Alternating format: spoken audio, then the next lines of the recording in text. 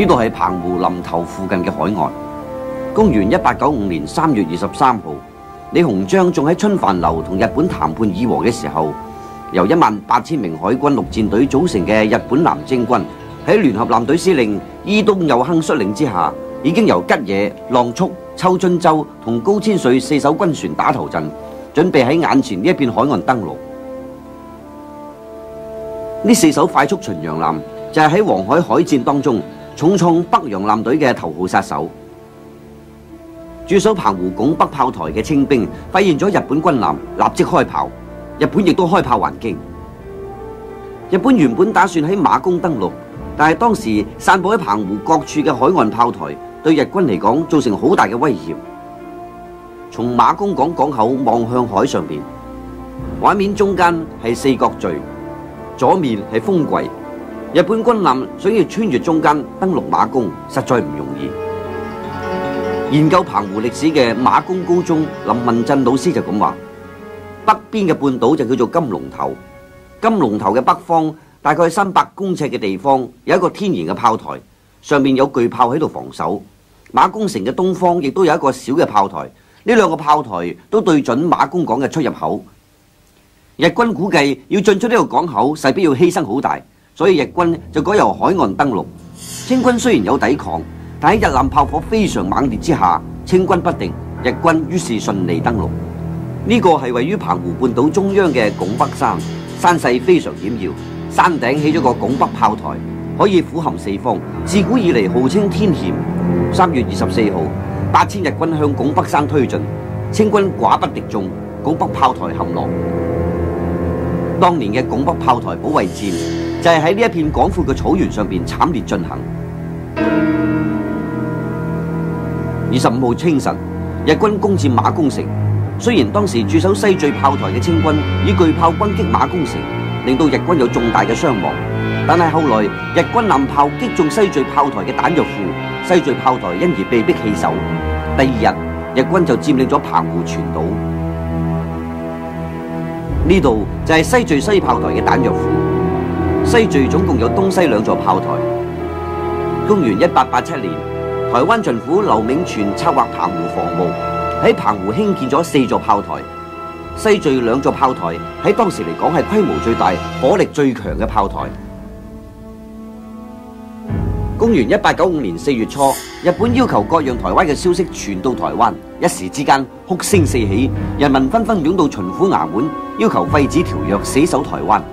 全國各地勸諫阻止嘅奏章、書信、電報，好似雪片一樣咁湧到朝廷，其中有廟堂之臣，有封疆大臣。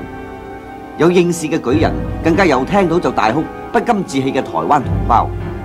台灣安平县、嘉義縣同埋淡水县嘅舉人，紛紛聯名致電朝廷，一旦委而棄之，是区中義之事，以示寇仇，數千百萬生靈皆北向痛哭，天下人心必將瓦解。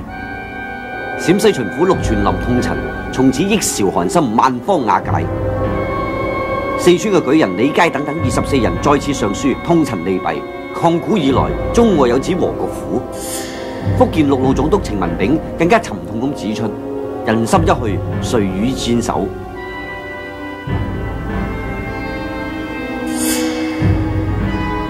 四月二十七號，台灣巡抚唐景崧致電清廷：萬民誓不從倭，割亦死，佢亦死，寧先死於亂民手，不願死於倭人手。喺北京。年輕嘅光緒帝以無比沉痛悲憤嘅心情咁話：台灣國則天下人心皆去，朕何以為天下主？就是認為師大史研所李國奇教授咁話：佢認為台灣嘅居民並冇對唔住中國，清廷係唔可以咁樣做，而且一旦咁樣做嘅話，就會民心盡失，冇幾耐就可能要遭遇亡國之痛。所以光緒帝亦都咁樣講，如果要割讓台灣嘅話，佢就連皇帝都唔做。佢咁講就係咁嘅意思。由呢啲說話裏邊，我哋可以睇到清廷至少仲有好似光緒帝或者係翁同和，以及翁同和下邊好多年輕嘅御史呢啲人都曾經咁堅決反對割讓台灣。這個年輕的御史這些人堅決的反對割台。大家亦都知道，康有為喺呢個時候領導公車上書，呢個公車上書裏邊都係反對割讓台灣，所以話拒絕割讓台灣嘅事，唔單止係台灣同胞唔願意，就係響中國整個社會上邊，一般人嘅睇法都係堅決咁反對呢件事。一般嘅社會上一般人嘅看法，也是坚决地反对这件事情。但係隨住北洋艦隊嘅覆滅，日軍已經兵臨城下。清廷軍機大臣唯有上奏表示，不割台澎，則終社危。四月十七號，馬關條約簽訂，清廷同意割让台灣。六月二號，清廷交個代表李鴻章嘅仔李經方搭船抵達基隆外海，李經方唔敢上岸，最後響日本接收代表華山知己所坐嘅橫濱丸船上邊簽署咗交接文書。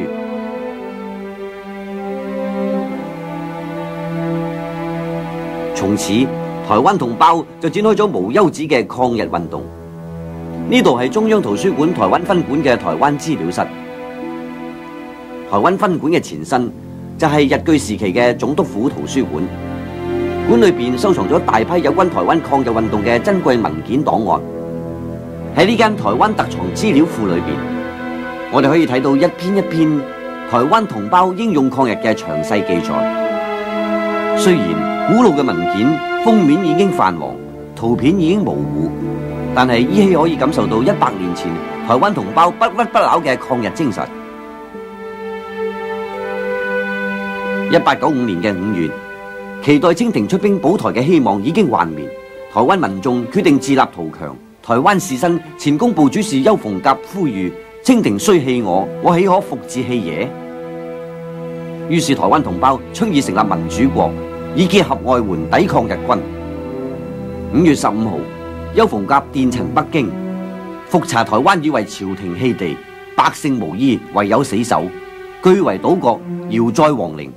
台民此舉，無非眷戀皇清，徒固守以待轉機。五月二十五號，民主國正式成立，由台灣巡撫唐景崧出任大總統，南部軍備劉永福為民主大將軍。以南地王府為國旗，年號永清，以示遙奉清朝，不忘祖國。台灣同胞成立民主國，完全出於不願臣服異族嘅不得已措施。因此，當時民主國特別發布御台文書，指出：為是台灣疆土，何大清經營二百餘年，今須自立為國，感念烈性舊恩，仍應供奉正朔，遙作平凡，气脉相通，無意中土。但係民主國嘅壽命非常之短，一共只係得一百四十八日，而且喺台北嘅總理衙門，由於日軍進逼，八日之後就解散咗。後來以劉永福為首，只喺台南嘅政府持續咗百幾日之後，亦都喺十月十九號宣告結束。但係實際上，由於佢哋唔能夠合作，日軍一登陸之後，好快就崩潰咗。所以對台北嚟講，台灣民主國只係得兩個禮拜壽命。公元一八九五年五月底，日本侵略者終於展開咗大規模嘅登陸台灣行動。五月二十九號清晨，天仲未光，日本軍艦開始出现喺盐寮附近外海。日军原本打算喺淡水登陆，但系淡水附近嘅炮台已经除去咗炮衣，守军正在严阵以待。而盐寮附近地势广阔，驻军又少，日本人决定喺呢度登陆。据讲，当日军换咗搭小艇登岸中途，海上边突然间刮起强风，滔天大浪，日军小艇有過半数沉没，死伤惨重。五月三十号，日军完成登陆，大批日軍喺海岸搭建形象。畫面當中坐喺凳上邊嘅就係日軍司令近衛師團嘅師團長陸軍中將北白川宮能久親王。四個幾月之後，北白川宮能久就喺台南病死。一八九五年六月初，日軍開始進攻台灣北部嘅瑞芳。日軍無論喺武器裝備同埋人員訓練方面，都遠遠超過抗日義軍。當時近衛師團長北白川功能久曾經誇口喺三個月之內平定台灣。日軍佔領基隆之後，喺街頭擺出勝利者嘅姿態。基隆失守之後，獅球岭被佔領，日軍通往台北嘅大門已經打開。當時基隆方面敗退嘅清兵開始湧入台北，台勇同埋粵勇互相殘殺，人民互相搶奪財物，台北已經大乱。六月六號，民主國嘅總統唐景松搭船離開台灣，潛返大陸。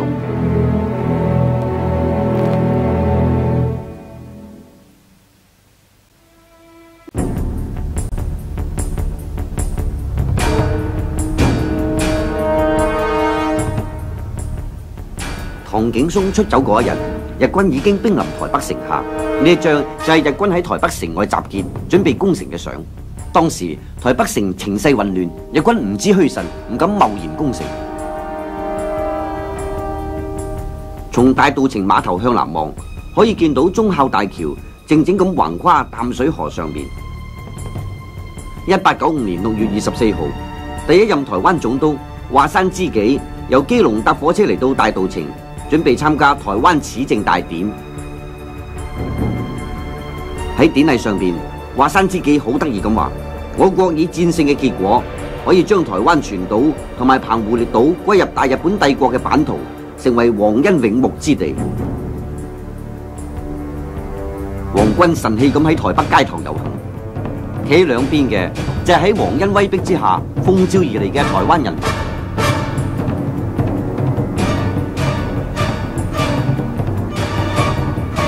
呢個係日本總督華山知己所發布嘅御示書，強調日本已經佔領咗台灣，台灣人民應該嚴守本分，要享周全保護。但日軍點都諗唔到，竟然喺中南部遭受到抗日義軍頑強嘅抵抗，其中以黑旗將軍劉永福所率領嘅抗日軍聲勢最大。呢年七月，劉永福率領五百個兵勇進駐喺台南嘅台灣兵備道衙門，並且向全台軍民告示。表示佢哋有死守台灣嘅決心，但係黑旗將軍馬上就面臨缺乏粮饷嘅困境。當時台南道嘅库存银只係剩翻七萬兩，為咗籌集軍費，劉永福開始發行公債。呢、這個就係當時官銀錢票總局所印製嘅台南官银票。中興大學歷史研究所教授黃秀正就認為，強烈嘅民族意識，係驅使台灣民眾義無反顧咁投入抗日戰爭嘅主要原因。佢哋本身都有強烈嘅民族意識，對日本、對外族，佢哋都相當拒絕同埋排斥，唔願意接受日本嘅統治。拒絕排斥，啊，不願意接受日本統治。所以呢，他們雖然所以佢哋雖然知道勝算唔大，勝算不大，但係都義無反顧咁投入呢個抗爭嘅行列。投入。十一月十七號，台灣總督府頒布台灣住民治罪令，台湾六百萬同胞從此開始經歷長達半世紀嘅異族統治。呢度係北京颐和园嘅玉蘭堂。戊戌變法失敗之後，光绪皇帝就係俾慈禧太后困喺呢度。甲午戰爭之後，列強知道中國好客，就開始喺中國劃分勢力嘅範圍，準備一塊一塊咁瓜分中國。年輕嘅舉人康有為同埋梁啟超要求清廷變法圖強。康有為誠懇咁上奏光緒：能變則全，不變則亡。年輕嘅光緒俾佢嘅誠意感動咗，毅然下詔變法。呢、這個就係歷史上有名嘅戊戌變法。但係以慈禧太后為首嘅保守派開始異常激烈咁反對，佢哋甚至大嗌：寧可亡國，不可變法。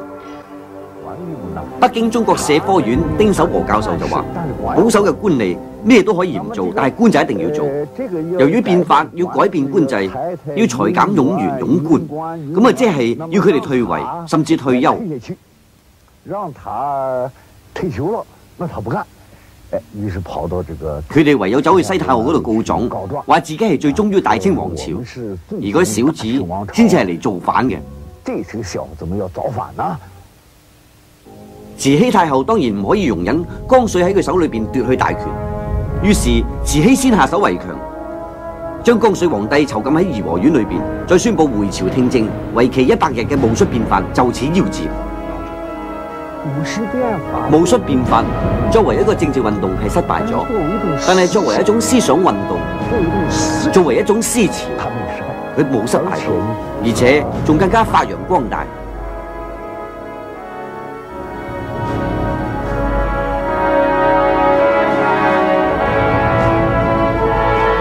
約簽訂嘅前一年，一個二十八歲嘅後生仔嚟到天津求見北洋大臣李鴻章。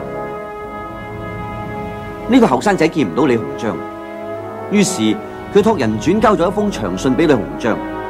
呢、個後生仔就係國父孫中山先生。喺呢封長達九千字嘅上李鴻章書裏邊，提出咗人盡其才、地盡其利、物盡其用、科暢其流嘅主張。佢急切咁指出，天下之高，不患不能行，而患無行之人。方今中國之不振，故患於能行之人少，而又患於不知之人多。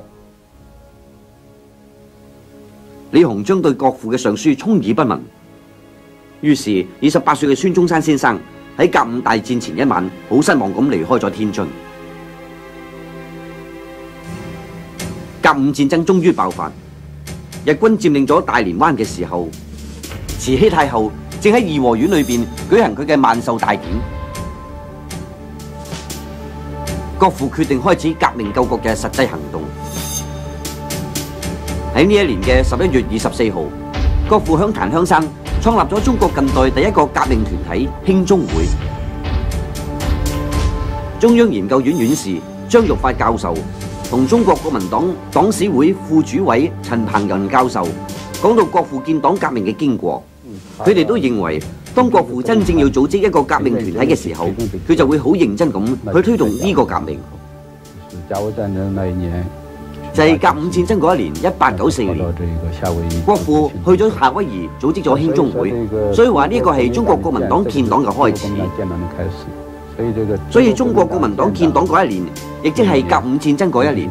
所以我哋紀念甲午戰爭一百年，中國國民黨亦都係慶祝建黨一百年。所以可以睇得出，中國國民黨嘅建黨係跟甲午戰爭有直接嘅關係。一百年前，當龍旗高揚嘅北洋海軍主力艦定遠繞過大半個地球，好神氣咁駛翻去中國嘅時候，好多人都以為中國立國以嚟嘅內陸傳統已經慢慢轉為海洋傳統，軍事設備一再擴展。但係甲午戰爭嘅挫敗，俾咗中國人一記當頭棒喝。喺北京中國社會科學院近代史研究所嘅庭院裏邊，黃慶成所長好感慨咁話：甲午戰爭對於中國嚟講係一次空前嘅災難。當然呢一次災難亦都係對中國人一個刺激，令到中國人覺悟到原來嘅路已經走唔通。走到原來的路啊，已經走不通。甲午戰爭戰敗之後，日本東京日日新聞嘅號外出現咗咁樣嘅字眼。定遠，一艘擁有十二寸巨炮嘅鐵甲艦，中國北洋海軍嘅旗艦，靜靜咁同佢嘅巨炮一齊葬身喺渤海灣冰凍嘅海底下面。喺一百年之後，定遠艦巨大嘅炮彈竟然豎立喺日本佐世保海軍公墓裏邊，憑吊日軍嘅亡靈。喺生晒鏽嘅彈身上邊，定遠彈丸嘅字跡仲可以清澈咁見到，而喺冇幾遠嘅地方。我哋仲可以見到日本海軍軍旗喺處迎風飄揚，北洋艦隊嘅黃龍旗呢？中國唔通真係已經失去咗記憶？呢日我哋嚟到威海，威海唔單止係北洋海軍嘅大本營，當日北洋海軍提督就喺威海口嘅劉公島上邊駐扎咗大量嘅軍隊，而威海亦都係北洋艦隊全軍覆沒嘅地方。中國甲午戰爭博物館研究員黃記話。帶我哋去揾造埠咀炮台嘅位置。呢個山東老乡所講嘅地方，而家變得一片荒蕪。只不過一百年，炮台已經消失得無影無蹤，只能夠喺山頭上边揾到一塊藏喺野草後邊嘅石碑，先至可以確定呢度曾經有過一磚又一磚嘅巨炮。但係而家草叢裏邊只係剩翻散落嘅斷瓦殘片。雖然甲午戰爭已經過咗一百年，但係呢一個世紀以嚟，有一個問題始終係困擾緊當代嘅中國人，就係點解中國會輸咗呢一場戰爭？點解當年喺中國眼中嘅一個弱小國家，竟然會打敗堂堂嘅大清帝國呢？點解大家同樣企喺現代化嘅起跑點向前冲刺，而结果竟然有咁大唔同呢？甲午戰爭嘅失敗，代表咗中國呢個古老嘅國家，經歷咗五千年歲月嘅洗礼，已經衰老得跟唔上世界前進嘅步伐，因此先至會被一個弱小嘅日本所擊敗。中國實在需要新生命、新力量，亦即係話，中國其實需要嘅係現代化，令到自己可以昂首企响世界嘅前方。以往中國並唔係一個落伍同埋野蠻嘅國家，早喺秦漢時代，中國就已經發展出全世界最輝煌、最燦爛嘅文明成就。當西方仲喺黑暗時期摸索嘅時候，中國文明嘅光輝已經代表人類嘅文明最卓越、最驕傲嘅時光。但係曾幾何時，驕傲嘅中國竟然好似一條衰老咗嘅巨龍咁樣。舉止十分緩慢無力，冇辦法應付任何外來嘅衝擊。甲午戰爭並唔係衝擊嘅開始，早喺呢場戰爭嘅一百年前，当闭关自守嘅中国开放海禁，西方嘅冲击就已经重重咁落喺呢条巨龙嘅身上边。